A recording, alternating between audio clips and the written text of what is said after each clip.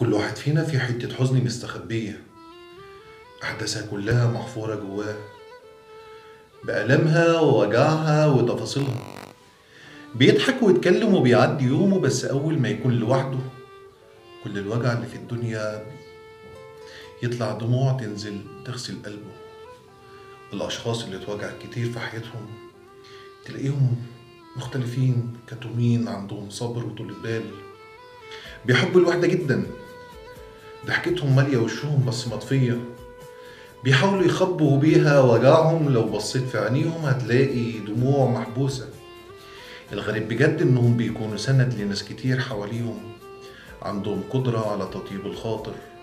ويفرحوا الزعلان ويرضوا المقموص جدعين مع كل الناس.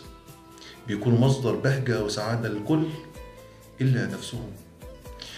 الخلاصة يا جماعة مش كل اللي بيضحك بيكون مبسوط.